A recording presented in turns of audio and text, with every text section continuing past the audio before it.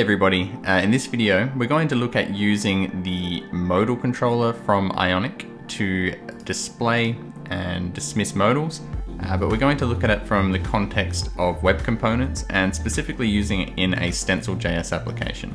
So since the release of Ionic 4, uh, Ionic's components have been delivered as web components, but there are some things like the modal controller and also like uh, the alert controller or toast controller where basically we're not just putting some components onto our template.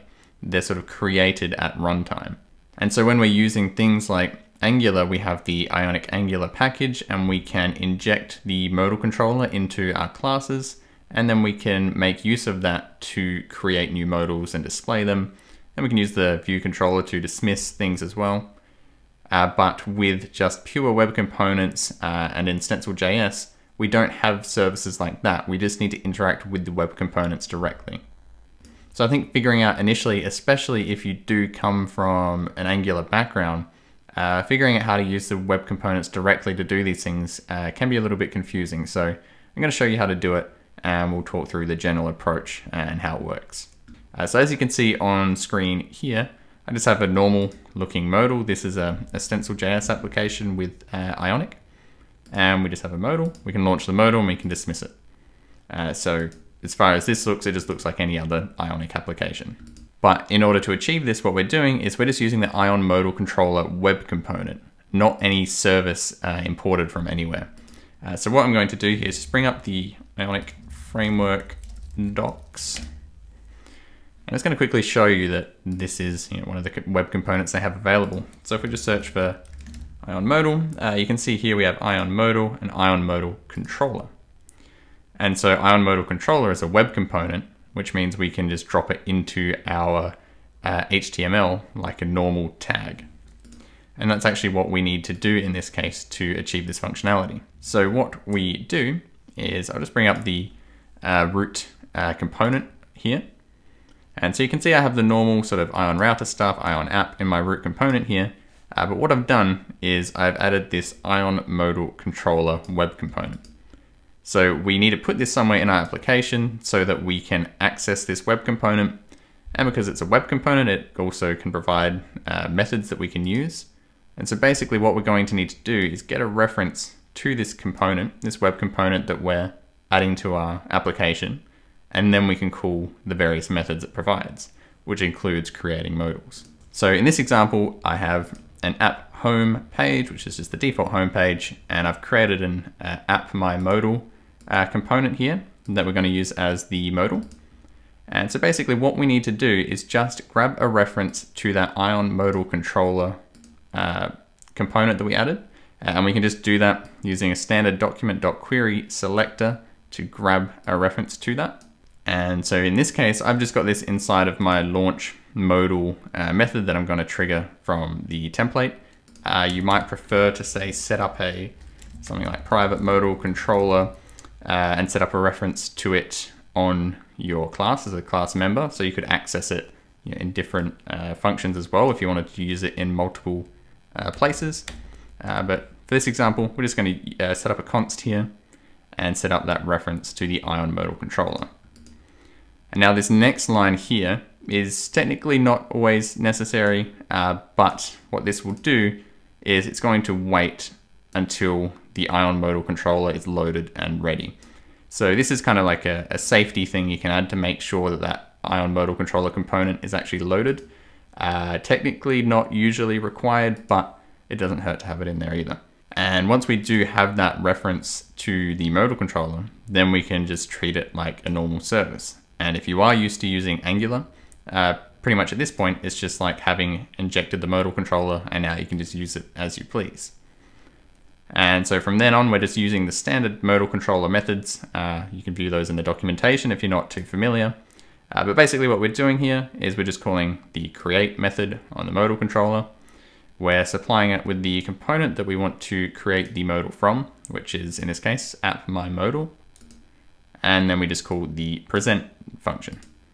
And so I've set up this button down here in the template, which is just calling the launch modal uh, method here, so that when we click on that, it's going to trigger that. it's going to grab a reference to the modal controller, create the modal, and then call present on that modal, which is what causes it to display on the screen here. And so there is still a little bit more to this story. Uh, obviously, once we launch the modal, we're going to need to be able to dismiss it too. And that involves calling the dismiss, uh, dismiss method. So we need to know, you know, what do we actually call that method on? And so what we're going to do here is we just inspect this element, and we're just going to browse through the uh, DOM here. And you can see I got the ion content, ion header of this modal page that we're on. And uh, you can see here, we have this app my modal. And so that's the component that we use to create the modal. And it's a little bit higher than that. We have the actual ion modal uh, element. And so this is the ion modal web component uh, that was created from the ion modal controller web component. And so you can see that's yeah, that ion modal controller reference is just sitting up here. That'll just stay there throughout the lifetime of the application. And then we have our app app home component, which is we're still inside that page technically because we're in that page and then we've launched a modal on top of it. And then we have that ion modal uh, web component here. So what we need to do at this point, if we want to close this modal, we need to get a reference to this component here that was created. And we could grab it in a similar way where we just use a query selector uh, to grab that modal. Uh, but technically there could perhaps be multiple mod modals present in the application. And so we're going to do something a little bit better. And what we're going to do is in our modal here, we, uh, we import element from uh, stencil core, and that's going to allow us to gain a reference to uh, the app my modal component. So uh, that's this component right here. So if you weren't using Stencil, uh, you would just need to grab a reference to that in some other way, or you might think of some other method to grab this. And then basically what we do with that, once we have a reference to that particular element, the, the host element for the modal, we can just call the closest uh, query selector, and we're looking for the closest ion modal. And so what this is going to do is it's sort of going to uh, start at, at my modal, and now it's looking for uh, an ion modal component. And so it's going to come up and search through uh, the sort of DOM here, and it's going to find that ion modal.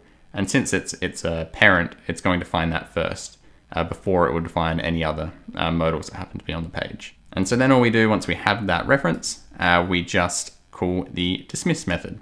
And that's what we're using to close the modal.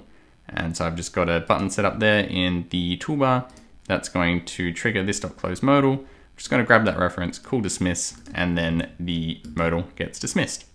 Uh, but apart from that, everything else is exactly the same. Uh, you can use the same methods that are available on the modal controller.